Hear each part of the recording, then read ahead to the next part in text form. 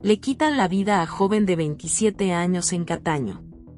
Un joven de 27 años fue ultimado a las 11 y 35 de la noche, del viernes, en hechos ocurridos en la carretera PR5, intersección con la calle Leopoldo Figueroa, en el pueblo de Cataño, informó el negociado de la policía.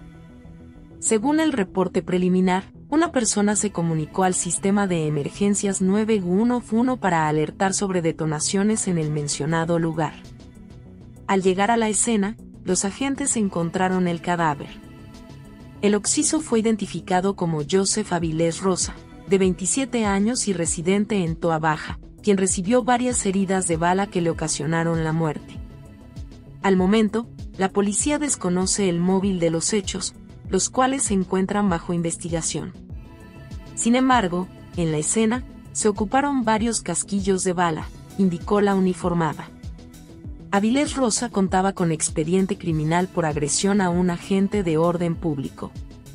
El agente Néstor Adames, adscrito al Distrito Policíaco de Cataño, investigó preliminarmente los hechos y refirió el caso a la agente Nicole Díaz de la División de Homicidios del Cuerpo de Investigaciones Criminales de Bayamón.